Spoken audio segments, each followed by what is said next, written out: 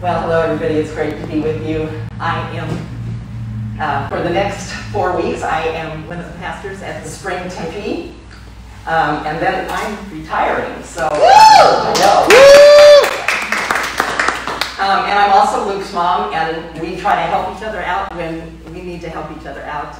Um, but I am going to ask if you would wear a mask. I am one of those people that's a high risk person. I have cancer, and um, I'd like to take mine off, and if you wear yours, I'll feel safer. So thank you for that.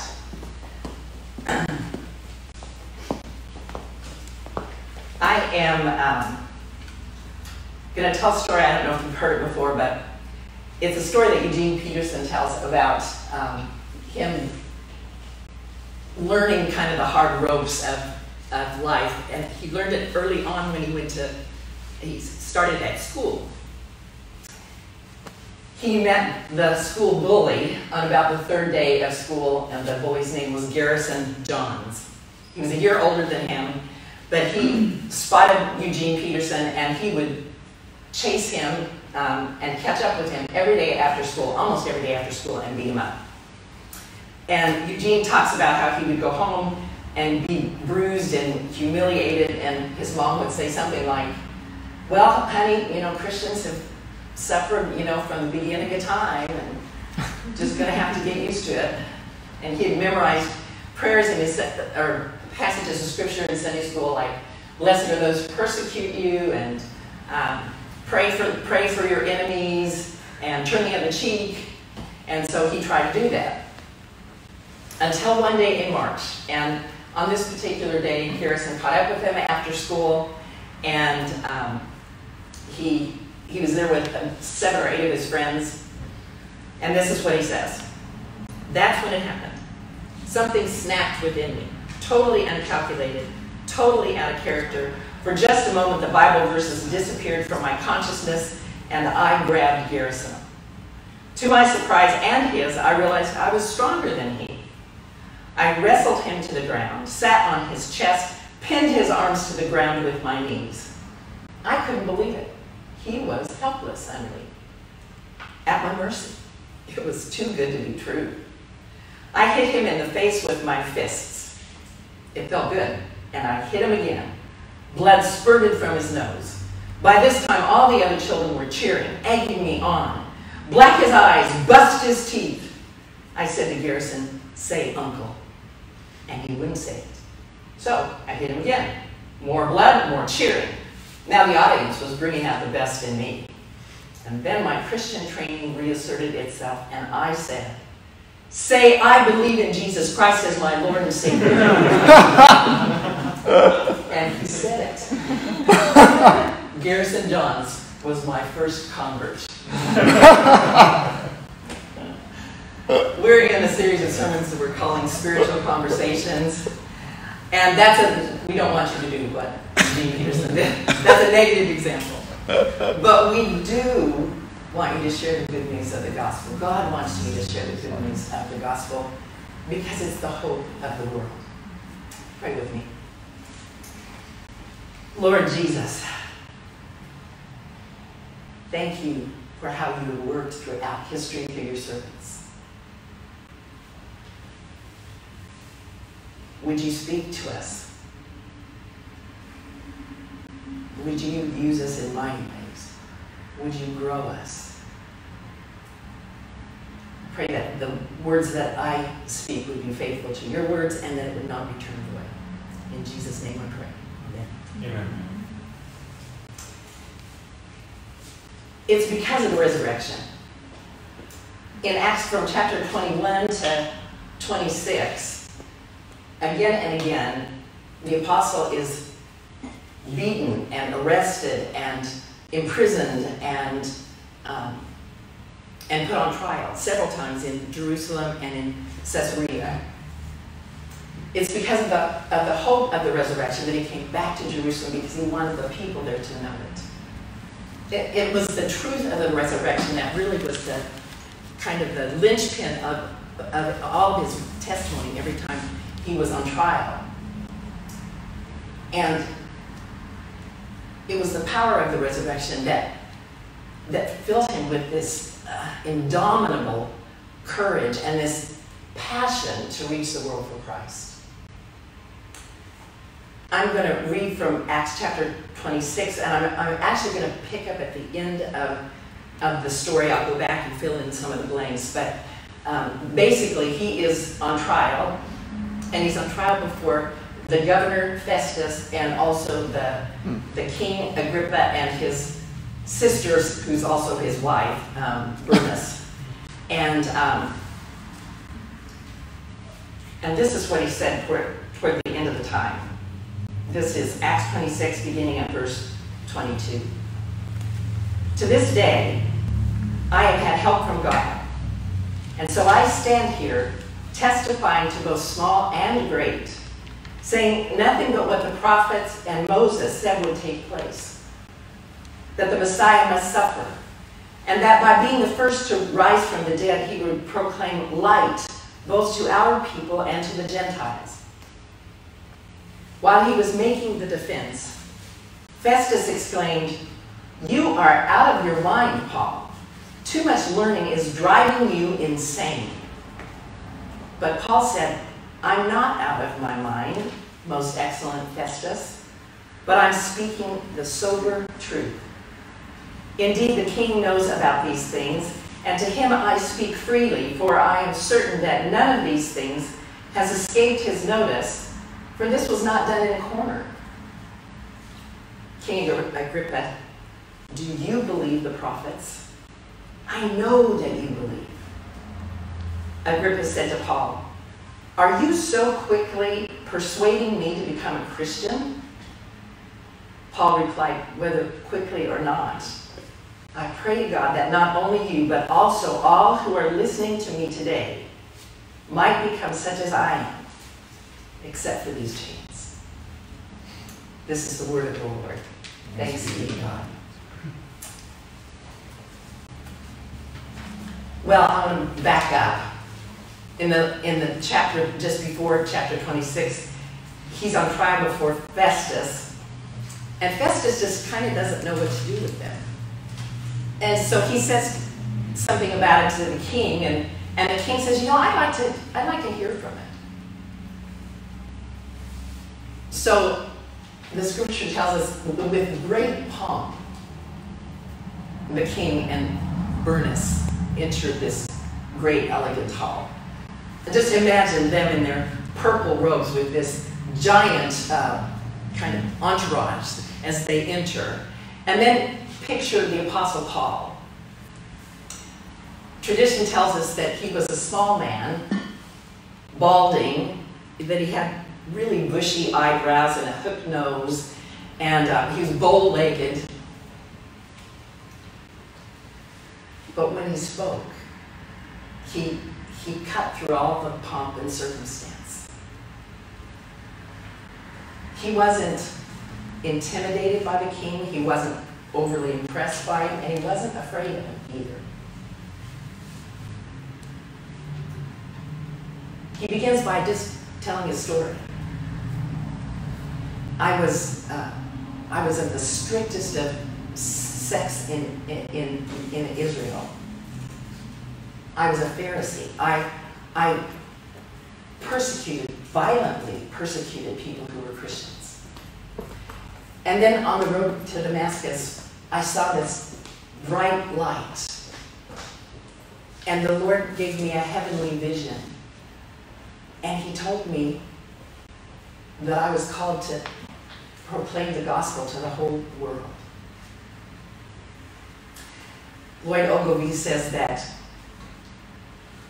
it must have been obvious that Agrippa was moved, um, disturbed, as, as Paul began to tell his story. That he was shaken by it. Agrippa was a, a Jew, at least culturally. He, he knew the Jewish faith, but he had actually been completely assimilated into the Roman imperial culture. He was a part of the, of the family of the Herods, um, who, who have for generations, honestly, um, opposed the truth and righteousness of God. His great grandfather was the King Herod that had all of the children ages two and under, all the male children ages two and under um, killed because he was so threatened by the birth of Jesus.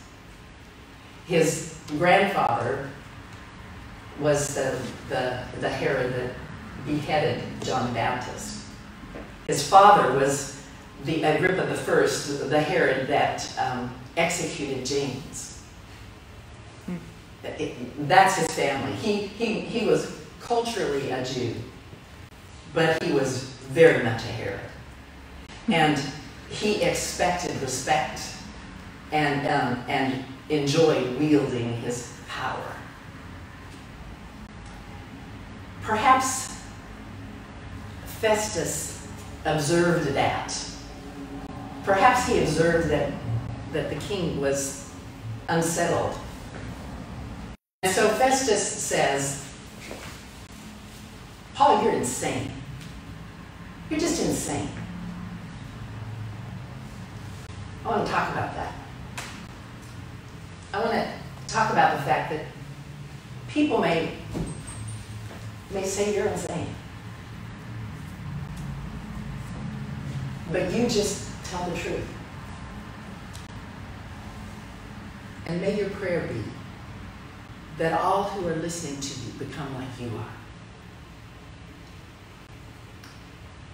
They may say you're insane. That's what Festus said about Paul. You probably know that most of the, of the New Testament was written in the Greek language. And the word for insane in Greek in the Bible is name. Say that with me. name. Insane. My Jewish relatives would say, you're Meshuggah. Some of you may have grown up in a household where they would have said, Estas locas. right? My name. You're crazy. Was Paul crazy for believing in a suffering Messiah king? Are you crazy if you believe in a suffering Messiah king? Not this last Easter, COVID Easter, but the Easter before, I think it was Good Friday actually. I was in a, a nail salon and the I was explaining to my Vietnamese nail tech that we were going to worship that night because it was Good Friday, and a big celebration on Easter, and um, and I was telling her that that I believe that on Good Friday, Jesus died on a cross, and and and it was for the forgiveness of my sins and all of our sins, and that He made a way for us to to have a close relationship with God. But that he didn't stay dead, that God raised him from the dead on Easter Sunday, and, and that, that he's alive today and he's at work in the world and he's at work in my own life. I'm telling her this stuff, and she looks at me like I am mining. And she starts talking to the nail tech next to her in Vietnamese.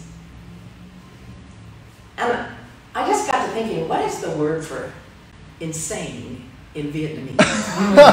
so I looked it up, and I'm sure um, if you speak Vietnamese, this is terrible pronunciation, but it's something like Dan Huong. I think she might have been saying to the nail tech next to her, she's Dan Huong. You're insane, Paul. And Paul just says, no, I'm not insane. I'm telling you the sober truth. I'm pointing you toward hope. Hope in the one who brings light where there's darkness.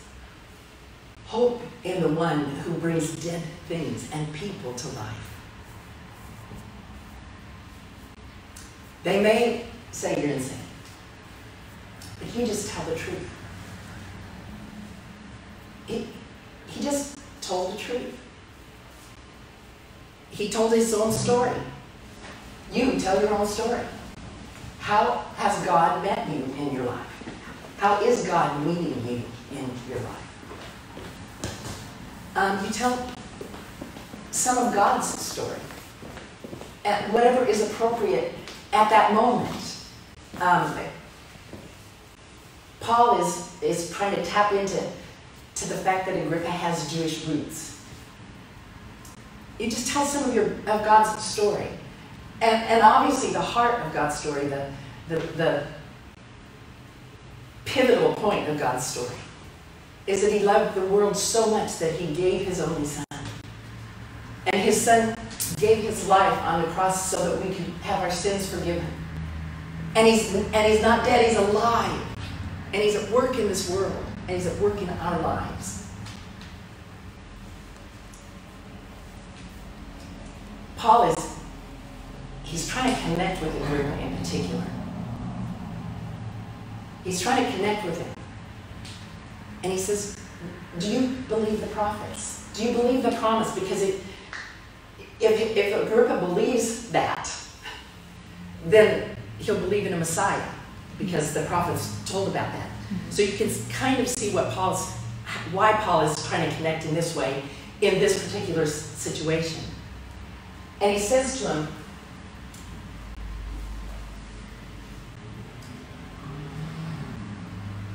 I'm saying only what the prophets and Moses said would take place. That the Messiah must suffer and be the first to rise from the dead. And he proclaimed light to our people and to the Gentiles. And then when Festus says you're insane, I think he, he just locks in on Agrippa. Mm-hmm. Do you believe the prophets? I know you believe.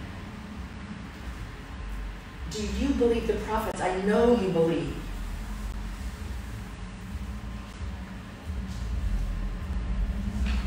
In this book, The Reluctant Witness, um,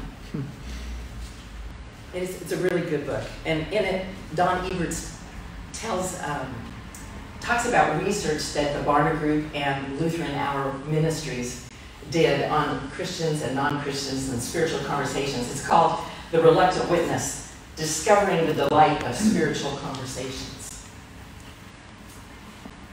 They, in the research, divided Christians between what they call eager conversationalists and reluctant conversationalists. And they're talking about spiritual kind of conversations. They actually have a very broad definition of a spiritual conversation. Um, anything it, could be anything. If, if you leave here and you get in your car and you talk about something in the sermon today, they would have considered that having a spiritual conversation. So very, very broad. Their research showed that that uh, that um, reluctant conversationalists they considered had nine spiritual conversations or less in a year. And eager conversationalists had at least 10 or more. Many had 50 or more in a year. About three quarters of the Christians that they surveyed are reluctant conversationalists. And about a quarter of them are eager conversationalists. These are the habits of eager conversationalists. Habit one eager conversationalists look for and expect spiritual conversations in everyday life at work, in any kind of a social setting, on social media, over a coffee or a meal, or on trial before a royal court. they look for and expect spiritual conversations. Habit number two eager conversationalists pursue and initiate spiritual conversations. Spiritual conversations help us go deeper with people, right? And so they want they want to connect with people on a, on a deeper level than the weather today. Paul did his best to initiate a conversation with Agrippa. Do you believe in the prophets? Now, Agrippa doesn't bite, but he was trying to initiate something there. Habit number three eager conversationalists are open to sharing their faith in a variety of ways. They don't have a memorized script that they say in, in every situation. It's particular. This is a particular conversation with a particular person. And so the, the, the conversation varies accordingly. Paul's trying to zero in on, on Agrippa's Jewish roots and, and the prophets who, who said that a Messiah was going to come and bring in his kingdom. Habit number four, eager conversationalists gently push through the awkward moments. I would guess it was awkward when Festus said that uh, Paul was insane. but he pushed through anyway, right? He, he pushed it a little further. Do you want to be, are you an eager conversationalist or reluctant? First question. And my second one question is, would you, would you want to be an eager conversationalist if you're not? When I was a kid, my dad told me on numerous occasions, never, ever, ever talk about money, politics, or religion with people. My dad was absolutely convinced that those conversations would end up going south. But it's interesting, in this book, the research shows something very different. When they surveyed reluctant conversationalists, eager conversationalists, and the non Christians that they spoke with, do you know what the overwhelming feeling was after they had a conversation? Peace. Peace. And a, and a close second, joy. Now, there were some conversations, conversations that people had where um, one of, or more of them felt um, negative feelings. But they're, when you look at the chart, they're just, they're minuscule compared to the, the overwhelming feelings of peace and of joy. It, it makes sense when you think about it. You know, psychologists will tell you that superficial talk, small talk, or shallow conversations don't lead to the same level of happiness that deep conversations do. There's, there's something in us that hungers, that, that longs for a deeper connection with people. In Paul's case, Agrippa can see what, where he's going. That if he says, yes, I believe in the prophets, that that means I believe there's a Messiah coming. And that would mean that I'd have to make a decision about Jesus and the resurrection. And he wants nothing to do with it.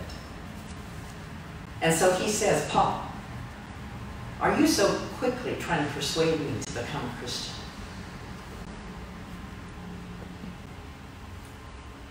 And Paul, I love his answer. Mm-hmm. I don't know about quickly, but I'd like everyone, not just you, but everyone here who's listening to me to become as I am except for the chains. They may say you're insane, but you just tell the truth. And may you pray that everyone who hears would become like you are.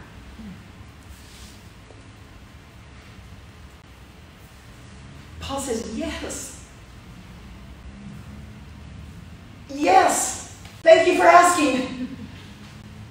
I, I am trying to persuade you to be like I am.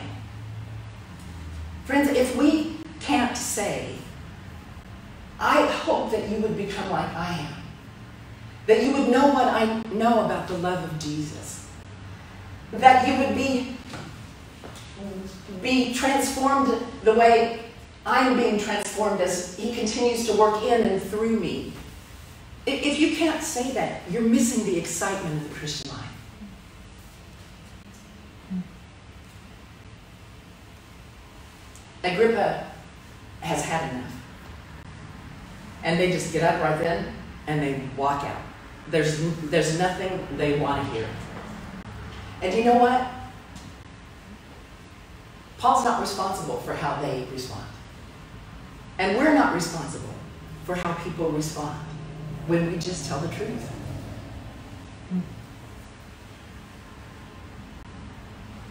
We're not. We just tell the truth.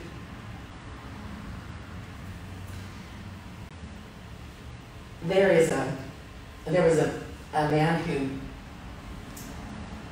a pastor who went in a, to a cemetery in Italy.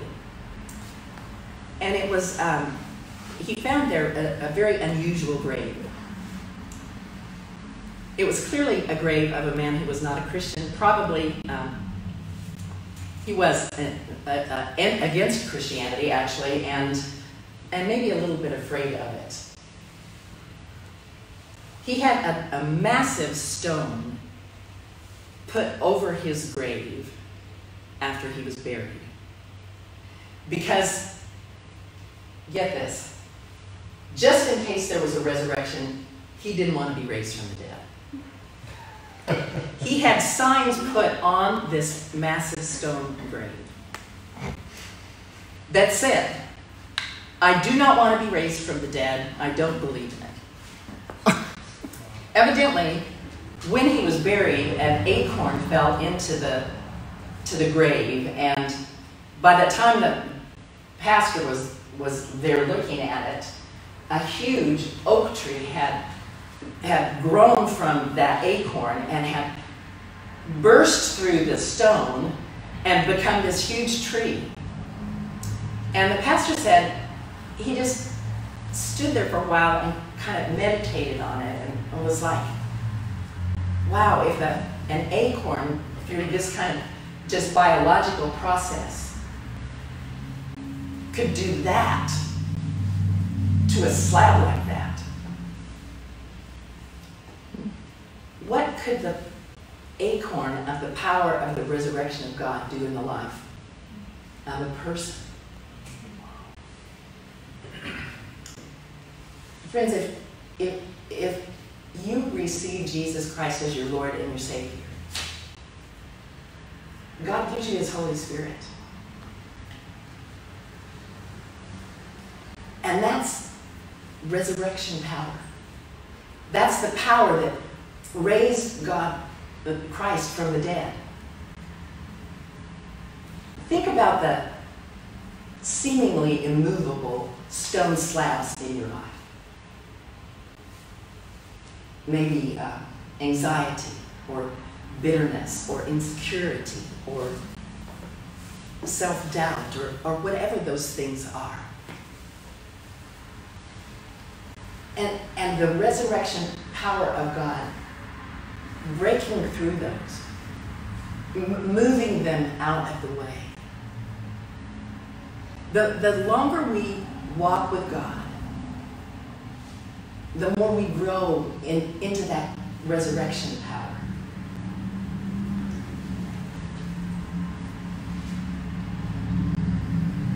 Think about Paul for a minute. Think about that statement. I told you earlier in my sermon. He was beaten and arrested and imprisoned and put on trial again and again. And he says, I want you to become as I am, except without the chains. Now, what does he mean by that? Who is Paul without the chains? He's a man forgiven of, of all his sins, and some of them were pretty bad. He's a man with a clean conscience.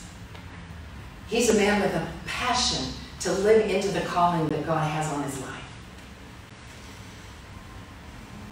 That's how he can say, I, I pray that everybody here listening to me today would become as I am.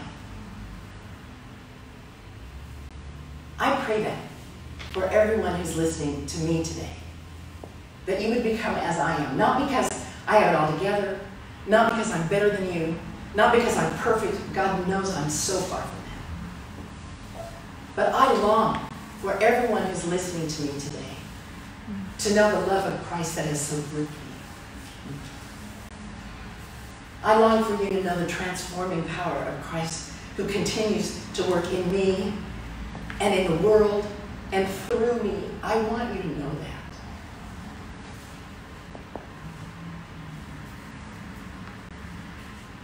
It's because of the resurrection. That's why anything's possible, even if your dreams are crushed. Even if, even if, like me, sometimes your energy's depleted. Or if your, or your life is just unsettled right now. If you're in a time of change and you don't know where it's going. Because of the res- resurrection, we know that we have a God who brings life. Always, always life. So the only question is will you believe that? And will you share it? Me.